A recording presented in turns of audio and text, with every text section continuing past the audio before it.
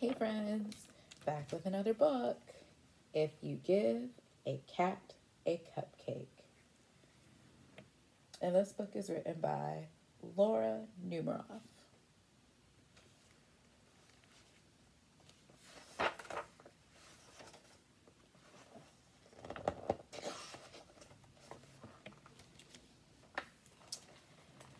If you give a cat a cupcake,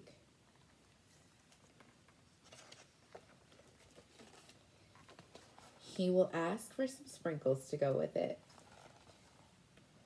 When you give him the sprinkles, he might spill some on the floor.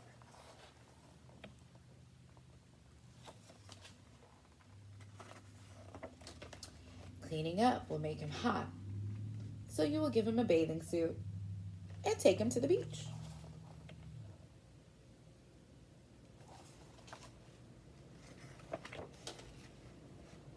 He'll want to go in the water and build a sandcastle too.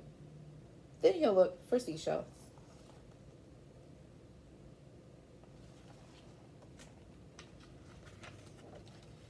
He'll find a few things as well, and he'll put them in his pail and try to pick it up, but it'll be way too heavy.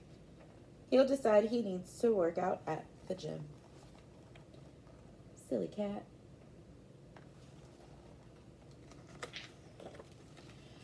First, he'll warm up on the treadmill. Then, he'll lift a weight or two. He might even take a karate class.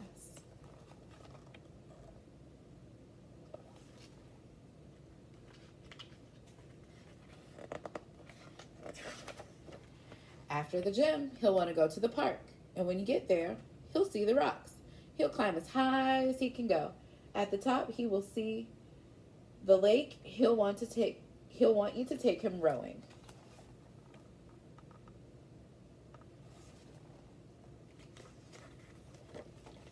He'll be the captain and you will have to row.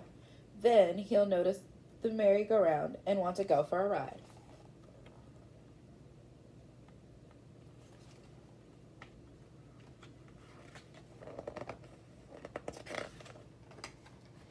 He'll want you to go for a ride too. You will choose the horse with the purple mane and he'll get on the whale. The whale will remind him of the science museum. He'll ask you to take him there. First, he'll find the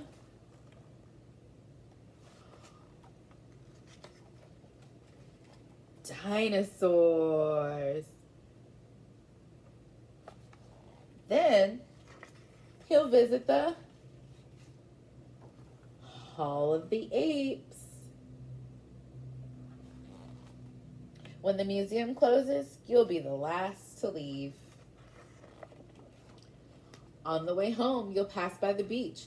You'll help him gather all of his things.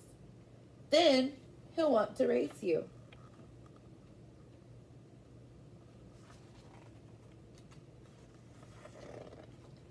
When you get home, he'll empty the sand from his shoes. He might spill some on the floor. Seeing the sand on the floor will remind him of the sprinkles. He'll probably ask you for some.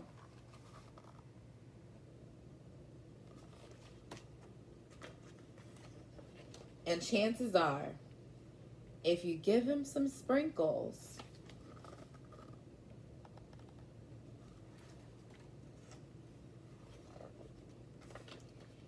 he will want a cupcake to go with them. That messy kitty. The end. Hope you guys enjoyed. I miss you all.